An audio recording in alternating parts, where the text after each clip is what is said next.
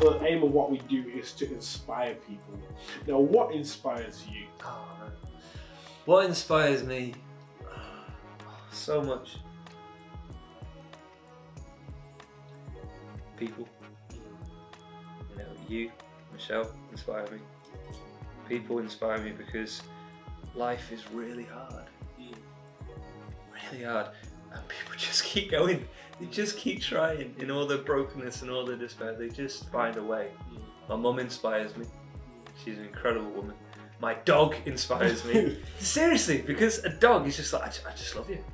Cat's just like, you gotta earn this. But a dog, a dog is just like, it's true. You know, you know Yeah, cat, it's is, cat true, is like, you know, it's like when you used to have those relationships where it's like, what have I done wrong? If you don't, if you, if you don't, if I don't tell you, you know, you obviously don't value me enough. It's that kind of relationship with a cat. But With a dog, they're just like, just feed.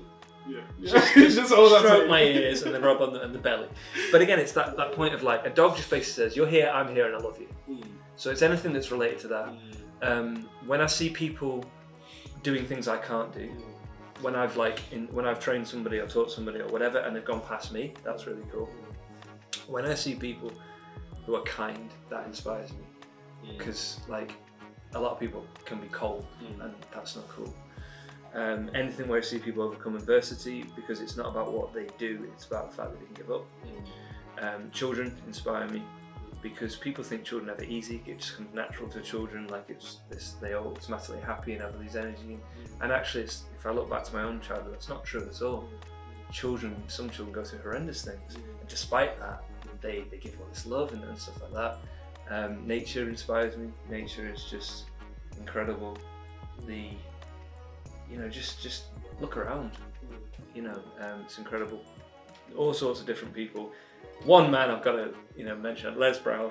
Les Brown inspired me, the best motivational speaker I've ever heard, Yeah. ever.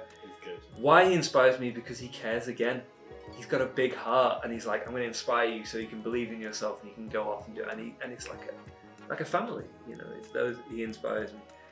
Um, so inspiration, you know, if you look at the etymology of the word, you look about the spirit inside and it can be anything. Mm, You know, back to the mug, you know, it's like Mm. anything can go in the mug.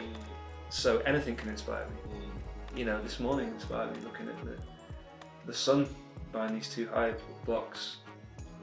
It, that inspired me. I think it's more like be open to being inspired and you'll find ways. Like a lot of people are just waiting to be like triggered. You know, they're waiting for an opportunity to shout at you, have a go at you. They're just waiting for somebody to, oh, I'm glad you asked.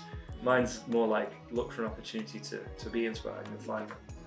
So yeah, anything if you're Yeah. looking for it.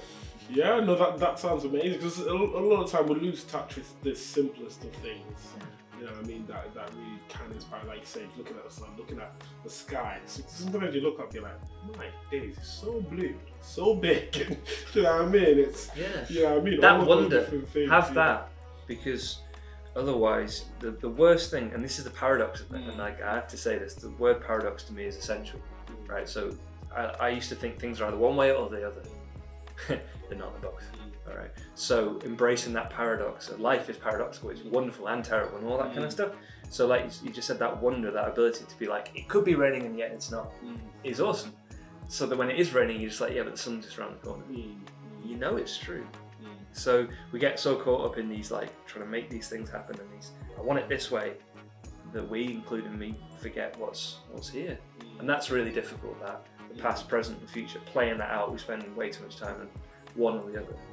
For me it used to be a lot I'm trying to work on more being present and future. It used to either be past or future, never present. Mm. Getting better on the present now. But you do you get dragged back into twenty years ago, five years ago, two days ago. It's like, no, come back, come on. It's like you literally, it's like the back to the dog. It's Like, come here. But I want to go over there. No, come, we know what's back there. Come on, Yeah. come on. And that kind of thing, pulling back, like I say, just looking and going, I'm here Mm. for today, you know. And that's enough sometimes. Yeah, amazing.